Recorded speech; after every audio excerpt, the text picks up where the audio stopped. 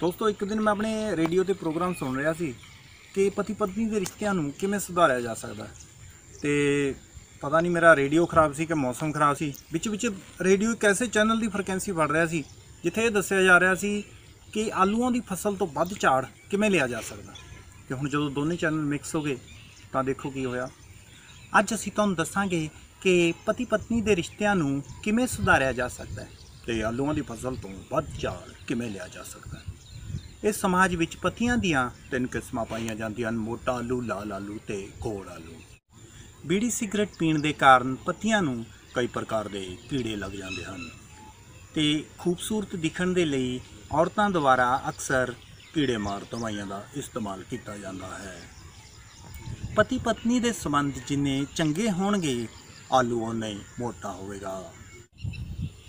ਇਸ ਲਈ ਪਤੀਆਂ ਨੂੰ ਵੀ ਚਾਹੀਦਾ ਹੈ ਕਿ ਕੋਈ ਵੀ ਕੰਮ ਕਰਨ ਤੋਂ ਪਹਿਲਾਂ ਪਤਨੀਆਂ ਤੋਂ ਘੱਟੋ ਘੱਟ 2 ਫੁੱਟ ਦਾ ਫਾਸਲਾ ਜ਼ਰੂਰ ਰੱਖੋ। ਇਸ ਦੇ ਨਾਲ ਪਤੀ ਪਤਨੀ ਦੇ ਸੰਬੰਧ ਤਾਂ ਸੁਧਰਨਗੇ ਹੀ ਤੇ ਮੰਡੀ ਵਿੱਚ ਵੀ ਚੰਗੇ ਭਾਅ ਮਿਲਣ ਦੀ ਉਮੀਦ ਰਹਿੰਦੀ ਹੈ। ਦੋਸਤੋ ਇਦਾਂ ਦੇ ਵੀਡੀਓ ਲਗਾਤਾਰ ਦੇਖਦੇ ਰਹਿਣ ਲਈ ਸਬਸਕ੍ਰਾਈਬ ਕਰੋ ਸਾਡਾ ਚੈਨਲ ਨਿਊ ਮਲਟੀਮੀਡੀਆ ਰਿਕਾਰਡਸ